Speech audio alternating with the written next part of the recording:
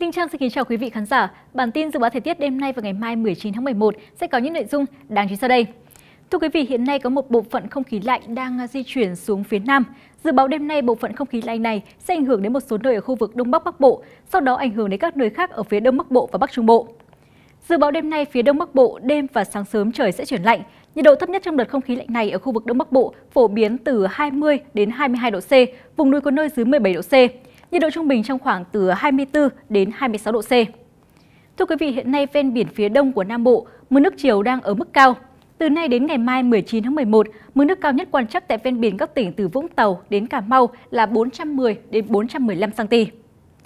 Đến với khu vực từ Thanh Hóa đến Thừa Thiên Huế, từ đêm nay khu vực Thanh Hóa đêm và sáng sớm trời chuyển lạnh.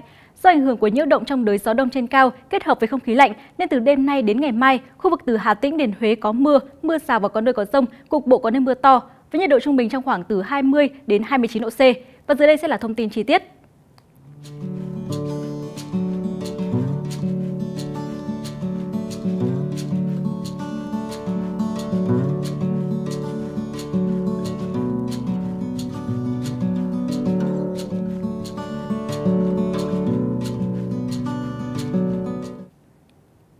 Thưa quý vị, tiếp nối bản tin sẽ là thông tin thời tiết biển.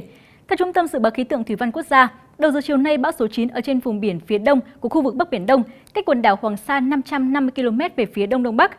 Dự báo trong 24 giờ tới, bão số 9 di chuyển theo hướng Tây Tây Bắc với tốc độ từ 15 đến 20 km/h, tiếp tục suy yếu trên khu vực Bắc Biển Đông, cách quần đảo Hoàng Sa 240 km về phía Bắc Đông Bắc.